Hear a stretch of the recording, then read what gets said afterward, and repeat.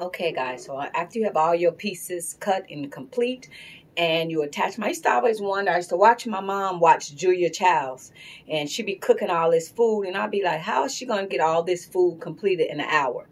She already have a roast or whatever she cooking already prepared. So she's walking you through how to prepare the meal, but it's already one complete. So this little piece right here that we cut, this is the piece that's going to go all the way around the necktie all the way around. And then remember I told you, no zipper tying the back. I have a bodysuit that's complete. That's how they do them shows. So you got to have something in the making and some complete. Y'all ain't got no whole hour to give me. So, if you see, this go all the way around. Vicks down a hanger. So this the front, but you see it go all the way around. This the back, the bodysuit. And it ties in the back. So see, this is a no uh, zipper bodysuit. So that's how you do it, guys. So if you guys want to make these bodysuits and you always like, oh my God, who's going to tie me up? That's how you do it. So I hope that this helped you guys. And I'm like, you know what? I got to make no long go video. Just get a bodysuit that's all ready together.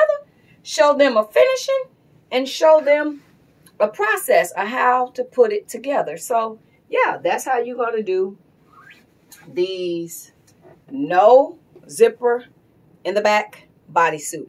And this is a really good spandex. So these fabric guys is all spandex that I'm using. I want to I, I want to definitely tell y'all that because if y'all using material that's not a spandex, it might and you want to give yourself good enough room to get in there. So if you nice, plump and juicy, you know, you see this fabric, this fabric got a lot of, it's like a, a lot of spandex in it. So if you nice, plump and juicy, Get some good spandex and you can get that nice juicy booty in there, guys. So I hope that helped you guys. And I want to say something to you guys.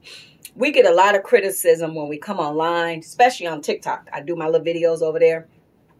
And people want to know what my biggest fear is. My biggest fear is not trying. So guys, we got to go through those wolves. So meaning the mean people on TikTok or YouTube. We got to go through them to reach our target audience. And I promise you, it will pay off. All my customers, like I told y'all before when I was doing the wig, came from YouTube.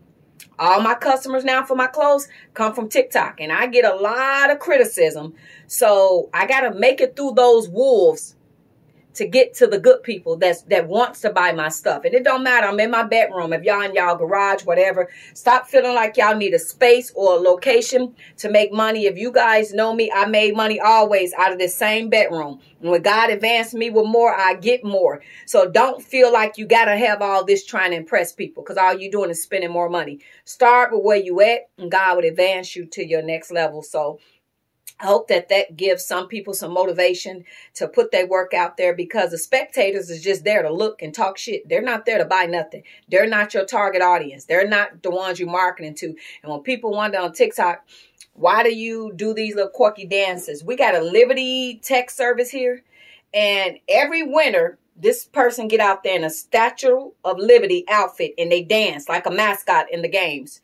And a lot of time when you just standing there like this, like this, like that, people like, what the hell? But in my little videos, when I find a little dance or whatever I like and probably don't even know how to dance good, it makes them stop and look and then they see it.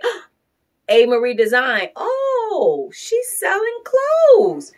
I never knew that. I thought the little lady was out of her mind, but it makes them watch the video. Is is it, it might be quirky advertising, but guys, it helped me out. So I hope that helped you guys. For the people that want to be entrepreneurs, the only thing that scares me is when I don't try. You got that Michael Jordan talent in you that you just got to let it out and don't be afraid because a lot of these people ain't going to buy shit. They just there to, to yap. And if you really look into their life, they not doing nothing and they're miserable with themselves. So put your goal, put your goals, put your dreams out there. It starts right here. For anything to happen, it starts with a thought. And then you put it out there. So guys, every time I thought of something and I act on it and I did it, it made me money. When you sit back and you're afraid of everything, you're not going to grow. You gotta, you gotta plant those seeds to get them out there. Hope that helps my entrepreneurs. Love you guys. Toodles.